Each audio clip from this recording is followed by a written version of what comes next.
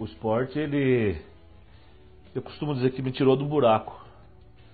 Eu fiquei seis anos num, num buraco assim que, que eu não via a mínima expectativa de sair dele. Três anos tomando morfina, de quatro em quatro horas, que eu tenho dor crônica por causa da minha lesão. Na verdade, foi meu filho que, que me levou para o esporte. Ele já praticava atletismo. E eu comecei a treinar atletismo, a gente começou a treinar junto e, acima de tudo, Deus, a minha família, os meus amigos e o esporte é foi a válvula de, de escape que me trouxe para a vida novamente. Eu devo muito para o esporte.